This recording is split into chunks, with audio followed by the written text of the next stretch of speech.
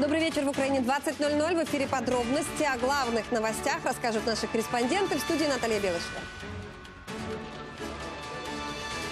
Фри Сенцов. К чему приведет акция в поддержку Олега Сенцова, который голодает уже 20-й день? Бомба раздора, что стало причиной столкновений жителей Одесской области с полицейскими. Лесные жители, кто и под чьим прикрытием уничтожает карпатские заповедники. Я вам пишу, чем письмо Ким Чен Ына так зацепило Дональда Трампа, что их возможная встреча снова стала реальностью.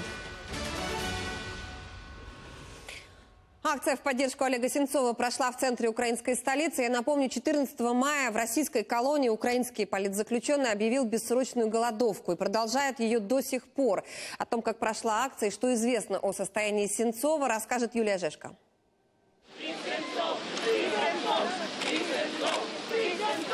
Художники, журналисты, писатели и просто небезразличные люди в цепях и робах. Это кадры не из фильма о побеге из тюрьмы. Это акция в поддержку украинского режиссера и писателя Олега Сенцова. Сегодня 20-й день его бессрочной голодовки. Мы э, отставим свою политическую позицию в честь того, чтобы освободили Олега Сенцова и остальных политзаключенных. Еще четыре года назад Сенцова арестовали по подозрению в намерении уничтожить памятник Ленину на территории тогда уже оккупированного Крыма. Сенцов свою вину не признал. Я никогда не являлся участником правого сектора, не организовал никаких террористических групп, не организовал никаких террористических актов на территории Крыма. А спустя год суд Ростовской области вынес страшный приговор – 20 лет в колонии строгого режима. С тех пор Олег Сенцов ни разу не просил, чтобы его отпустили. Однако настаивал на освобождении 64 таких же, как он, политических узников. Сегодня весь список политзаключенных огласили активисты и рассказали, как намерены действовать дальше. Підняти питання звільнення політв'язнів на найближчому саміті країн Великої Сімки, який відбудеться буквально наступного тижня. Е, звичайно, у нас є е, вимога до е, України це створення спеціального представника, який буде опікуватись питанням політв'язнів. Не обошли вниманием предстоящее в Москве событие – чемпионат мира по футболу. Символично подписали мячи именами политзаключенных. На найближчому чемпіонаті е, світу з футболу, який проходитиме в Російській Федерації, я вболіваю за політв'язнів. Внутренне мне, как человеку, хочется, чтобы он прекратил голодовку, потому что это реально становится опасно для его жизни. Но при этом я понимаю его как мужчину. Кто навещает режиссера и как он себя чувствует? В последнее время эта информация фактически закрыта. Но сегодня об этом рассказала сестра режиссера Наталья Каплан. Она тоже была на акции. Олег отказывается от свиданий, говорит, что ему так легче держаться эмоционально. Ну, просит к нему не приезжать никого из близких. Обычно на такой день голодовки э, люди уже не способны сами стоять. Это все, что я могу сказать. Э, последний человек, который его видел и сказал об этом, это Ксения Собчак. Это было по видеосвязи. Она сказала, что он очень худой и бледный, теряет зубы, теряет волосы. Подобные акции в ближайшие три дня пройдут в 70 странах мира с уже известным хэштегом. Сейв Олег Сенцов. Сейф Сенцов. Сейф Олег Сенцов. Сейв Олег Сенцов. Сейф Сенцов. Поэтому считать, сколько людей пришли поддержать украинца, не имеет смысла. Важно, что сохранить и освободить режиссера хочет весь мир. И каждый из активистов надеется, что украинские власти и мировое сообщество добьются освобождения Олега Сенцова. Юлия Жешко и Сергей Коваль. Подробности телеканал Интер. Акции в поддержку Олега Сенцова проходят по всему миру. К призыву спасти заключенного режиссера присоединились в Австралии, Объединенных Арабских Эмиратах, Канаде, Соединенных Штатах, а в Европе протестуют более чем в 30 городах. Наш британский корреспондент Светлана Чернецкая расскажет все подробности. Сразу в шести французских городах прошли акции в поддержку Сенцова. Париж, Страсбург, Марсель, Бордо, Тулуза и Лион. Люди выходят на улицы с красными карточками для Москвы, как символ будущего чемпионата мира по футболу, который начнется в России уже через две недели. Против агрессии России, я против смерти Олега Сенцова, и я только за мир во всем мире. Количеству городов, где проходят акции, Франция уступает только Германии. Здесь активисты собрались сразу в семи городах. Среди них Берлин, Мюнхен и Гамбург. Несмотря на дождь, люди вышли на центральные площади с призывом спасти украинского режиссера.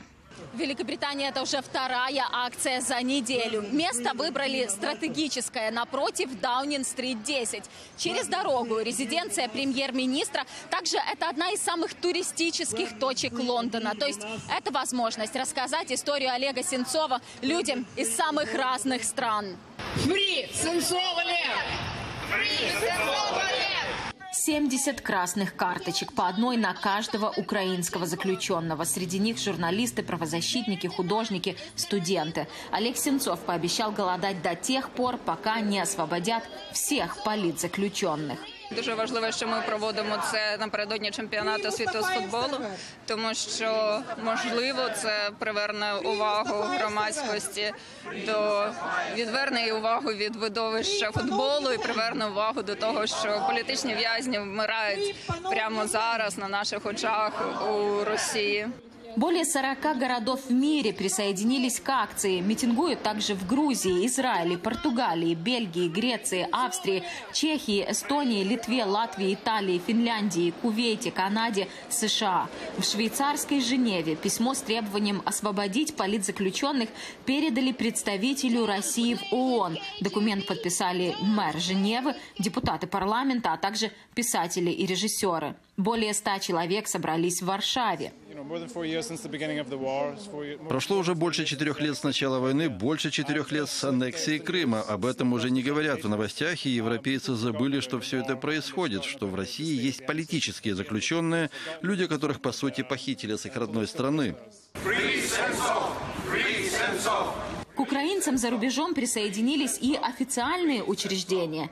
Это флешмоб в Европейском парламенте в Страсбурге. А это обращение записали в миссии США в ОБСЕ. Сегодня мы добавляем свои голоса к глобальному призыву освободить Олега Сенцова и позволить ему вернуться домой. Даже в России состоялись пикеты. Москва, Казань, Санкт-Петербург. Активисты призывали освободить Сенцова из колонии, а на чемпионате по футболу болеть за политзаключенных. Люди сменяли друг друга в одиночных акциях, поскольку из-за чемпионата массовые митинги в стране запрещены. Светлана Чернецкая, Сергей Дубинин. Подробности. Британское бюро телеканала «Интер». Боевики на Донбассе продолжают вести огонь по позициям украинских военных. Только за минувшие сутки зафиксировано 33 вражеских обстрела, в том числе из запрещенных минскими договоренностями калибров. Трое украинских бойца были ранены. Также боевики препятствуют началу ремонтных работ на Донецкой фильтровальной станции. Все подробности расскажет Игорь Левинок. Окраины Горловки. Вот уже несколько недель здесь не утихают ожесточенные бои. Эпицентр противостояния украинской армии и российско-оккупационных войск – село Ленинское, теперь уже Южное. 8 мая подразделения вооруженных сил Украины взяли под контроль этот населенный пункт. Зашли тихо, противник нас не обнаружил, закрепились, э, ну, начали окапываться потихоньку. Противник обнаружил наше присутствие уже на следующий день.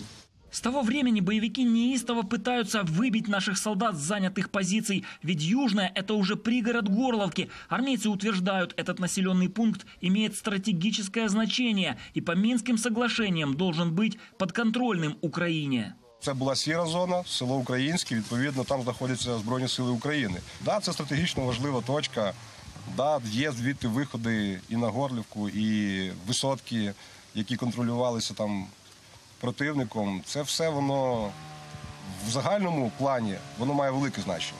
Вот оно, село Южное. Дорогу к населенному пункту плотным огнем простреливают боевики. Это видео снято камерой нашего дрона. По спискам здесь проживают 206 человек. Армейцы говорят, сейчас мирных жителей осталось около сотни. Дуже залякані, бо тому що на спілкування не сильно зразу хотіли йти. Потім вже побачили, що ми дітей не їмо, нікого там не розпинаємо на хрестах і адекватно з ними поводимося. То почали спілкуватися вже більш щиріше, більш відкритіше з нами. В этом районе штаб Объединенных сил почти ежедневно фиксирует вражеские обстрелы украинских позиций и мирного населения. Российские наемники прибегают к тактике выжженной земли. До такої степені, що вони вже е, бронебойно запалюючими е, боєприпасами по жилих хатах. Просто їх підпалюють, випалюють одне за одним. На днях боевики ринулись в атаку на наши позиции. Завязался ближний бой. Олег получил осколочное ранение в правую руку, но автомат не выпустил. Противник с потерями отступил. Первый прилет нас откинуло на дно окопа, ну, упали, встали, начали отстреливаться, потому что сразу по флангам начала стрелковая работать. Противник подошел очень близко, там 100 метров может. Після того, як ми відбили першу атаку, чули, що там поранені кричали. І машини під'їжджали, забирали, чутно було. Украинские солдаты уверяют, выбить их с позиций врагу не удастся. За проявленный героизм от командования объединенных сил бойцы получили правительственные награды. Игорь Левинок, Вадим Ревун, Игорь Щепет. Подробности. Телеканал Интер из Донецкой области. Из-за России НАТО хочет создать 30-тысячные силы быстрого реагирования. Об этом со ссылкой на дипломатов пишут немецкие СМИ. Ожидается, что вопрос обсудят на встрече министров обороны Альянса уже на следующей неделе. Традиционное заседание комиссии Украина-НАТО в эти дни, скорее всего, не состоится из-за блокирования Венгрии. Но Киев и Будапешт уже на пути к компромиссу. Елена Абрамович знает все подробности. Встречи на уровне министров обороны и глав МИД Украины и стран НАТО отменялись более полугода. Заседание блокировала Венгрия, пытаясь убедить Киев пересмотреть закон об образовании. Он увеличивает часы украинского языка в школах нацменьшинств, отодвигая венгерский на второй план. Для Венгрии, которая после Первой мировой войны потеряла две трети своей территории, этот вопрос принципиальный. Отношения стран зашли в тупик, и теперь в конфликт вмешались США. Американский госсекретарь Майк Помпео поговорил с венгерским министром иностранных дел Петером Сиарта. Секретарь отметил срочную необходимость поддержки Украины в связи с российской агрессией, включая важность сотрудничества Украины с НАТО и противодействия российскому влиянию в Центральной Европе. После консультаций в США Венгрия согласилась на переговоры по образовательному закону. Будапешт предложил Киеву создать межправительственную рабочую группу. Она должна следить за выполнением рекомендаций Венецианской комиссии. Наша цель – вернуть закарпатским венграм те права, которые им предоставлялись ранее и гарантировались. Венецианская комиссия предусмотрела, что украинские органы власти должны консультироваться с национальными меньшинствами и воздерживаться от ограничения ранее приобретенных прав. Консультации представителей Украинского министерства образования с венгерскими нацменьшинствами уже назначены на 5 июня. Другой украинский вопрос, которым НАТО пытается помочь Киеву – ситуация на Донбассе. В штаб-квартире Альянса сегодня состоялось заседание комиссии «Россия-НАТО». Перше питання Україна. За день до цього відбулося засідання комісії України НАТО на рівні послів, в якій я брав участь. І це було домовлено, що ми спочатку проводимо засідання зустріч з нами. Ми брифінгуємо про ту ситуацію, яка відбувається зараз, і ті питання, які хотілося б порушити, щоб НАТО порушила з Росією. На редких встречах с представителями России в Альянсе пытаются поддерживать политический диалог с РФ и ищут пути снизить напряжение. Тем временем немецкие СМИ сообщают, НАТО планирует создать 30-тысячные силы быстрого реагирования в дополнение к уже существующим 20 тысячам, чтобы улучшить готовность отреагировать на возможную атаку со стороны России. Из Брюсселя Елена Абрамович, Евгений Каминский. Подробности. Европейское бюро телеканала «Интер». Сегодня ночью в столице около 100 человек в балаклавах и масках пытались захватить торго- торговый центр «Магеллан». Сначала парни захотели зайти вовнутрь, но их не пустила охрана, которая забаррикадировалась внутри. Захватчики решили не оставаться в долгу и также забаррикадировали все входы автомобилями. Затем рейдеры рассредоточились вокруг здания торгового центра. На, на место событий приехала полиция. Копы составили протокол о нарушении общественного порядка. Никого не задержали. Сейчас ТРЦ работает. Закрыто только помещение супермаркета. Жестокое убийство в Кривом Роге. Накануне вечером в Металлургическом районе прямо на улице компания выясняла отношения. В какой-то момент несколько человек схватили одного из участников перепалки и затолкали в автобус «Мерседес». Очевидцы рассказывают, что буквально сразу же прозвучали два выстрела. Затем машина тронулась, дверь авто открылась, и из салона на ходу выбросили раненого. Люди вызвали скорую, но спасти пострадавшего не удалось. Он скончался в неотложке. Известно, что погибшему 42 года. Имя его не разглашают, ссылаясь на тайну следствия. И пока также неизвестны ни количество подозреваемых, ни причины такой безжалостной расправы. Ця подія зареєстрована як частина 2 стаття 121 Кримінального кодексу України. Це тяжкі тілесні ушкодження, які спричинили смерть потерпілого. А зараз план перехоплення знято. Однак поліція оперативним шляхом приймає всі необхідні заходи для встановлення осіб, які причетні до цього злочину. Беспорядки и даже столкновения с полицией в Одесской области. В поселке Цебриково завтра должны пройти перевыборы в объединенную территориальную громаду. Но часть местных жителей при поддержке одной из политических сил блокирует избирательный процесс. Все подробности в материале. Выборы в поселке Цебриково состоялись прошлой осенью. Победу в борьбе за пост председателя объединенной громады якобы одержала Татьяна Матрос, представляющая одну из политических сил. Но ее оппоненты опротестовали результаты в суде. Дескать, при голосовании были нарушения, подтасовки. Несколько месяцев шли судебные тяжбы. Наконец было принято решение. 3 июня должны состояться перевыборы. И Центр избирком это подтвердил. Апелляционная инстанция поддержала решение э, Одесского окружного административного суда. Прошла уже почти неделя, решение выполнено не было. Сегодня Террасбирком должен был выдать бюллетени избирательным комиссиям, чтобы те отвезли их на участки для завтрашнего голосования. Но группа местных жителей заблокировала вход в здание. Вместе с ними и Татьяна Матрос, которая называет себя законно избранной главой ОТГ. Я хочу сказати, що відбулися суди. Суд признав вибори дійсними і, звичайно, причину, не причину у громаді і вибори фейкові не повинні відбутися. В то же время другая часть местного населения выступила за перевыборы. Их поддержал и ряд депутатов облсовета. Люди сами себя провозгласили, люди сами себя назначили. Суд принял решение о том, что выборы были незаконные и надо проводить перевыборы. Знаете, это первый шаг к созданию еще одной незаконной, не дай бог, республики на территории Одесской области. Конфликтующим приехал глава областного совета, попросил разблокировать помещение, поскольку перевыборы, по его словам, все же должны состояться. Вот у меня решение суда, которое говорит в сторону ваших оппонентов. Мы с вами должны решать вопрос цивилизованно. Пожалуйста, идите в суд. И вот первые столкновения. В полиции говорят, поступило сообщение о минировании здания, поэтому пришлось оттеснить людей. При этом во время стычек один из мужчин распылил слезоточивый газ в толпе и был задержан.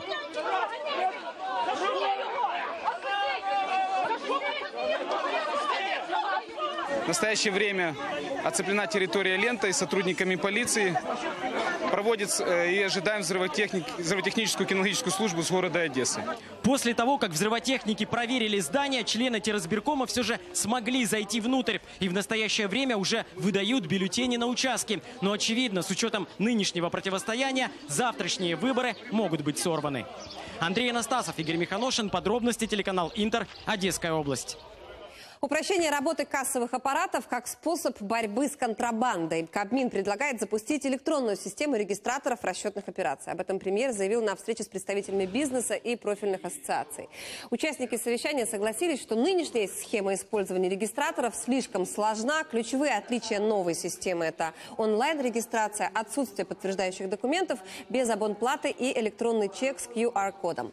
Затем он будет автоматически вноситься в реестр, доступный в электронном кабинете налогоплательщикам. Застосування РРО в тому, в тому е, форматі, як є сьогодні, є і обтяжливо, нерозумно абсолютно, жорстко карально.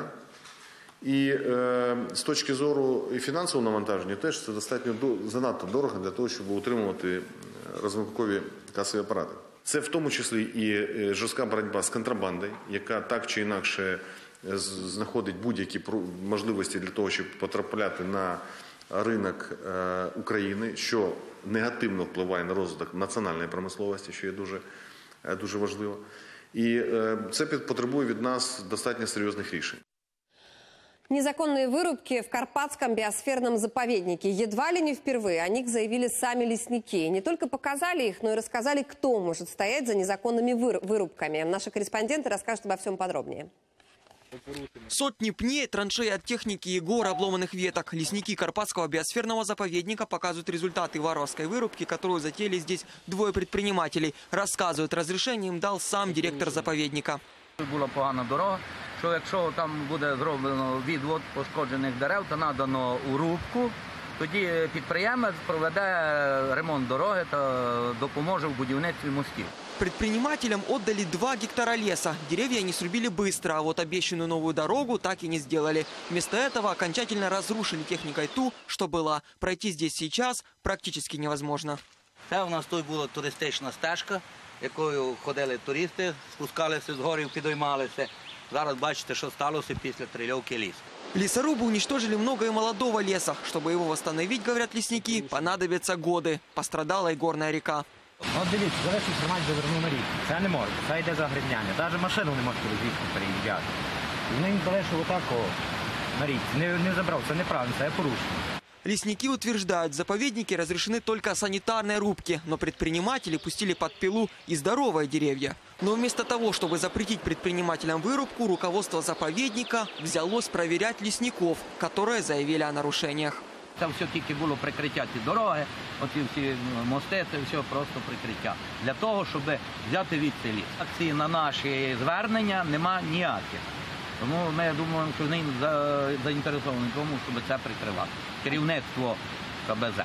Ці фірми підставні, так, і, а розробку проводить його племянник Шемота Василь Миколаївич. Съемочная группа подробностей решила узнать, что может ответить на такие обвинения подопечных директор заповедника. Но он сейчас в отпуске. Его зам убеждает, лесники действительно подали несколько актов о нарушениях. Начальник о них знает, просто еще не успел отреагировать. Да, вони здали декілька протоколів, декілька актів про порушення, але, на жаль, ще не дооформили всі документи. Тобто не взято ще пояснення, є розпорядження видано начальнику, він має це дооформити. Я думаю, на другий тиждень всі ті їхні протоколи, які вони здали, будуть направлені в правоохоронні органи. Но лесники ждать не стали, уже уведомили полицию о нарушениях. В даному випадку екологічні норми порушені однозначно. Лісосіки завдані збитки, дуже багато молодняку підрослому. З приводу екологічних норм, е, тут е, я правда не еколог, але мільйонні збитки однозначно будуть. Все рубки и вывоз древесины из заповедника лесники заблокировали до тех пор, пока правоохранители не дадут свою оценку происходящему. Богдан Вербицкий, Жанна Дучак, Зиновий Автонас. Подробности. Телеканал Интер. Закарпатская область. О крышевании чиновниками незаконных вырубок заявляет лидер оппози- оппозиционного блока и уверяет, что уничтожение лесов уже давно достигло угрожающих масштабов. Ми дійсно бачили і в минулому році, і це, на жаль, продовжується і сьогодні. Практично варварська вирубка лісів в Карпатах. Обходять мораторії, формують інші документи. Е, Митниця своя ручна. Вони всі там погрязли, всі в цих схемах. І вирубка лісів, і виробіток бурштину незаконний. Все це громадна корупційна оборудка, якою годуються е, представники вищого керівництва держави. І сьогодні вони просто не в змозі відмовитись від такої е, годувальні. Супергерои, воздушные шары и подарки. В Ахмадете отметили День защиты детей вместе с благотворительным фондом «Таблеточки». Детей поздравили с первым днем лета. Как развлекали маленьких пациентов в нашем репортаже. Для пациентов онкогематологического отделения Ахмадета устроили настоящую сказку. Одни супергерои спускаются с крыши здания, другие играют с малышами во дворе больницы. Организаторы праздника верят, такие мероприятия помогают деткам быстрее восстанавливаться. В основном ребенок находится в палате, он практически не контактирует с внешним миром. У него очень мало положительных эмоций, каких-то событий в жизни, которые бы могли поднять ему настроение, э, повысить боевой дух. И поэтому очень важно периодически устраивать детям праздники, чтобы они увидели, что жизнь продолжается, что детство продолжается. Дети соревновались в танцах, учились запускать мыльные пузыри. И маленькие пациенты, и родители остались довольны. Більше сподобалось, як е, супермен і Бетмен лазили по скелях. і бульбашки. Свято на вищому рівні. Е, просто така атмосфера, всі веселі. Е, просто чудово все. Для них це дуже масса, э, ма- масса позитивных эмоций, хорошее настроение, тем более в их состоянии это очень полезно и очень приятно. Спасибо большое организаторам фонду таблеточек для, за такой хороший праздник для наших деток. В Ахмадите говорят, положительные эмоции действительно помогают в лечении, а такие праздники отвлекают детей от больничной рутины. Сьогодні свято, сьогодні день захисту дітей. І це не просто слова, що діти це наша гордість, це наша любов, це наша надія, це майбутнє нашої України. Але для- для нас, тут саме на цій території, в лікарні, це дуже важливі дітки, тому що вони в певний період хворіють, і хочеться їм. Дати відчути, що скоро хвороба закінчиться, вони повернуться до повноцінного життя. Але саме ці моменти, щоб вони не втрачали, раділи життю і Фонд таблеточки сотрудничает с Ахмадетом 7 лет. И подобные мероприятия организовывает регулярно. Не только для маленьких пациентов, но и для родителей. Мы организовываем волонтеров, которые проводят э, занятия арт-терапией в отделениях. Э, И не только, кстати, в отделении онкогематологии, но в отделении э, токсикологии на территории Ахмадета. Наши волонтеры приходят регулярно, по несколько раз в неделю проводят занятия с детками, с их мамами. И кроме того, мы стараемся регулярно устраивать праздники. Каждый месяц это день именинника для тех деток, которые родились в этом месяце. Тоже с аниматорами, с клоунами, с подарками. И раз в квартал мы проводим дни красоты для мам и для девочек, которые лечатся в отделении. Организаторы надеются, что благодаря таким праздникам пациенты Ахмадета хотя бы на время забудут о своих болезнях и ненадолго вернутся в беззаботное детство. Ольга Теребинская, Ксения Барвиненко, Даниэль Косаковский. Подробности телеканал Интер. Ввести уголовную ответственность за подделки и отменить НДС на медикаменты, требует лидер радикальной партии. Во время своей поездки в Чернигов политик пообщался с горожанами. Лешко сообщил, что его политсила добилась выделения трех миллионов из госбюджета на новый рентген-аппарат для городской больницы. И теперь будут бороться за расширение программы «Доступные лекарства». У першу чергу обмеження рентабельності, щоб не продавали і не заробляли по 300% за рахунок обкрадання людей і на їхньому здоров'ї, відновлення державного регулювання цін на ліки, скасування ПДВ на ліки, розширення програми доступні ліки, зокрема за рахунок е, ліків на онкологію, щоб безплатні давали, антибіотики від діабету, від астми, якісні нормальні ліки, які люди лікуються. Евросоюз и Канада обратились в ВТО, чтобы оспорить решение США ввести пошлины на импорт стали и алюминия. И параллельно принялись готовить ответные меры. Перерастет ли обмен любезностями в новую торговую войну, выясняла Татьяна Лагунова. Больше никаких поблажек. Соединенные Штаты ввели таможенные пошлины на импорт стали и алюминия для стран Евросоюза, а также Канады и Мексики. Они вступили в силу в ночь на 1 июня. 25% на стали, 10% на алюминий. Дважды страны ЕС, Мексика и Канада получали отсрочку и пытались уговорить США пересмотреть решение о введении пошлин. Не получилось. Это плохой день для мировой торговли. Европейский Союз не может не отреагировать. Мы обратимся в ВТО и вскоре представим ответные меры. Когда дело касается мировой торговли, вводить односторонние меры совершенно неприемлемо. Жалобу в ВТО Европейский Союз уже направил, контрмеры тоже разработаны. Европейцы планируют в отместку обложить пошлинами целый ряд американских товаров. В черном списке мотоциклы, яхты, джинсы, футболки, косметика, рис, кукуруза и бурбон. Европейский Союз был готов к переговорам. Мы сделали США хорошее предложение. Сейчас мы проанализируем решение американских властей и дадим единый и решительный ответ. Это неприемлемо. В международных отношениях не действует право сильного. Международные отношения – это не Дальний Запад. Мы осуждаем это решение. Переговоры по ответным мерам стартуют в Брюсселе со следующей недели. Обнародовать их еврочиновники обещают до конца июня. Татьяна Лагунова, Павел Лысенко. Подробности немецкое. Бюро телеканала «Интер». Дональд Трамп согласился встретиться с лидером Северной Кореи Ким Чен Ыном. Об этом президент США сообщил после переговоров с северокорейскими чиновниками в Белом доме. Кроме того, представитель КНДР вручил американскому президенту письмо, написанное лично Ким Чен Ыном. Дональд Трамп назвал послание очень интересным, но не стал раскрывать подробности этого документа. Встреча двух лидеров запланирована на 12 июня. Событие, о котором говорят. В Нью-Йорке открылась первая персональная выставка украинской художницы Зинаиды, которую местная пресса сразу же включила в десятку самых ожидаемых событий. Что в экспозиции и почему украинское искусство так заинтересовало американцев, выяснял Дмитрий Анопченко. Выставку украинской художницы Зинаиды принял арт-центр White Box. Культовое место. Он был первым в Челси, Нью-Йоркском районе художественных галерей. Его владелец Хуан Пунтас за 20 лет работы научился с первого взгляда определять, где настоящее искусство, а где претензия на него, к чему публика в Нью-Йорке останется равнодушной, а что примет. Я уверен, что Нью-Йорк не просто будет заинтересован, он обязан знать об этой выставке. Мы тут следим за новостями, мы знаем, что происходит в Украине. И для интеллектуальных, интеллигентных, креативных жителей Нью-Йорка эта выставка будет резонансной, ведь здесь заложено так много смысла. И не стоит переживать, что те, кто слышал об Украине лишь из новостей, этот смысл не поймут. Здесь все понятно без перевода. 16 женщин, которые были волонтерами на Майдане, в белом минималистичном пространстве арт-центра, где нет мебели и декораций, и ничто не отвлекает от самих работ, все внимание к этим лицам и их нерассказанным историям. Для автора проекта, украинской художницы Зинаиды, важно было обратить внимание на роль женщин, рассказать о людях, у которых хватило силы и мужества бороться.